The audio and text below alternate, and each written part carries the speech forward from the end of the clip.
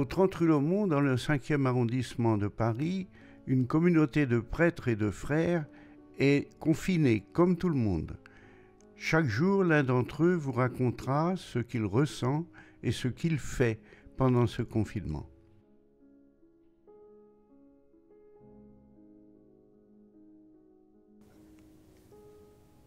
Depuis je suis dans la communauté de la rue de j'ai pour ministère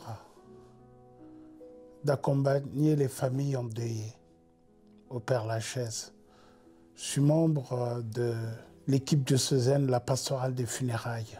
Et ce ministère m'emmène à rencontrer beaucoup de familles. Quand elles ne viennent pas sur place euh, ici à la rue Lomont, c'est moi qui vais vers eux pour préparer les obsèques. Et quand on ne peut pas se voir, tout se passe au téléphone. Ça, c'est la principale activité que j'ai au sein de la communauté. J'ai aussi, euh, dans le quartier, à la rue Polivo, une messe que je vais célébrer dans une maison de retraite. Une fois toutes les deux semaines, on fait un échange avec euh, le supérieur de la communauté, le père euh, Emmanuel Maudre. Ces personnes ont besoin aussi du Seigneur, présence eucharistique. Depuis le confinement, tout a changé. Franchement, je ne pensais pas que je serais capable de, vivre ce confinement. Et d'ailleurs, je ne suis pas le seul à y penser. Moi, je suis un homme de contact. J'aime bouger, j'aime aller à la rencontre des personnes. Une semaine avant le confinement officiel, le supérieur de la communauté, Emmanuel Maud, m'avait demandé de ne plus aller rendre visite aux personnes âgées parce qu'elles étaient euh, très fragiles. Et moi aussi, euh, bah, dans cette période, j'avais une bronchite, donc une raison de plus pour rester à la maison.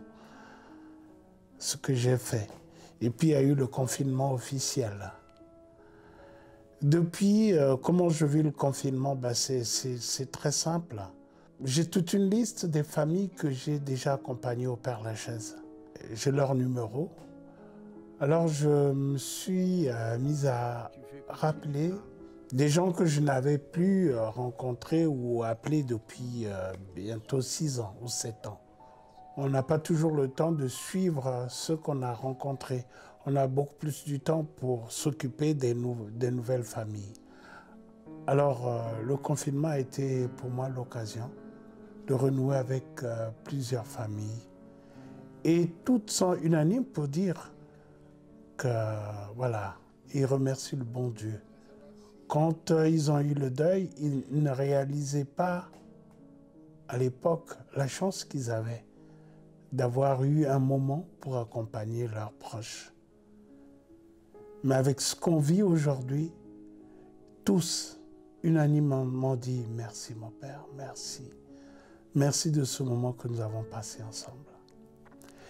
Il y a aussi, euh, une, fois je vous ai raconté l'histoire d'Oscar, ce petit enfant de, de six mois qui est mort. J'ai accompagné la famille. C'est des obsèques qui, qui m'ont vraiment fait mal, qui m'ont fait pleurer plus que les parents concernés. J'étais déstabilisé. Je ne pouvais pas comprendre comment Dieu pouvait laisser mourir un enfant de six mois. Mais ce jour-là, c'est les parents qui m'ont fait une leçon de foi. Ils m'ont dit, mon père, Oscar n'était qu'un ange qui était de passage dans notre famille. Le lendemain, ils ont fleuri notre église de belles orchidées tout était blanc, tout était beau et qui représentait vraiment ce que Oscar a été pour, cette, ce couple. Un enfant qui est né avec le sourire. Le lundi de Pâques, ils m'ont appelé pour m'annoncer que depuis neuf mois, ils ont eu un autre enfant qu'ils ont appelé Félix. Et ils m'ont dit, merci mon père, merci Oscar est parti, mais maintenant nous avons eu Félix. Gloire à Dieu. Voilà un peu comment j'occupe euh, mon confinement, mon temps de confinement, et puis euh, lecture, euh, télé, prière aussi. Voilà.